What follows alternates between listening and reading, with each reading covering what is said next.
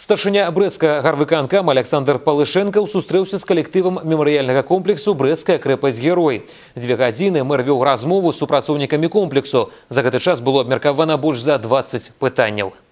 Дыялог з гарадской уладай прайшоў у рамках адзінага дня інфармавання. На парадку дня актуальнае пытанне работнікаў комплексу.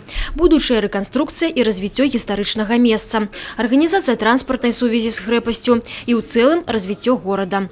На сустрэчы абмеркавалі загадзя падрыхтаваныя пытанні. Таксама Александр Палышенкаў адказаў на іншыя пытанні супрацоўнікаў аб адукацыі, камунальнай гаспадарцы і будаўніцтве жылля. Систематически встречаются с различными коллективами. в данном случае э, мы встретились с коллективом мемориального комплекса «Брестская крепость Герой».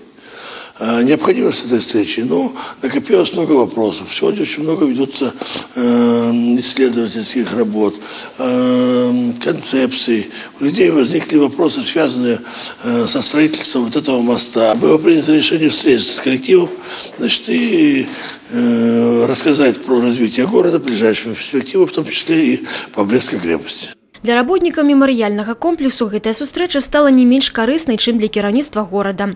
Людзей азнаёмілі з дакладнай інфармацыяй аб будучых работах у крэпасці, развіцці мікрараёнаў Брэста.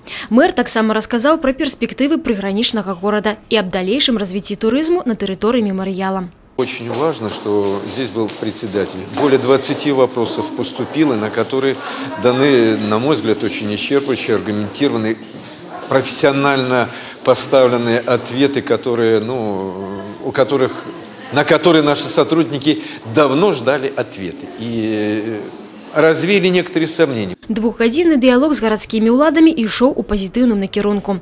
Сустрэча расставіла кропкі над і ў шэрагу пытанняў, якія хвалявалі калектыў мемарыяльнага комплексу. Кацярына Булацецкая, Александр Сівіцкі, абласныя навіны, Брэст.